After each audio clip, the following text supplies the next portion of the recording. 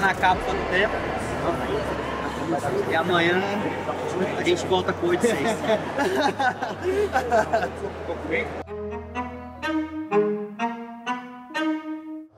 Eu faço isso todo santo dia, né? Eu acordo quatro e meia da manhã, faço minhas coisas, arrumo, preparo minha comida, preparo meu kimono. Então, eu gosto de seguir a mesma rotina. Acordei hoje também, 5 horas, 5 e meia ali, tomei meu café, preparei minha, minha rest guard, minhas bermudas. E cheguei antes aqui no, no ginásio, acho que eu fui um dos primeiros a chegar. Normal, tipo, eu chego também antes na academia para alongar, meditar, focar. Coisas que do dia a dia, a gente não precisa mudar muito, né? Então, tô, tô focado agora, tô começando a aquecer aqui. Acho que já saiu meu nome ali, então provavelmente daqui uns 30 minutos eu lute. Então vou começar meu aquecimento agora e luta, luta atrás de luta.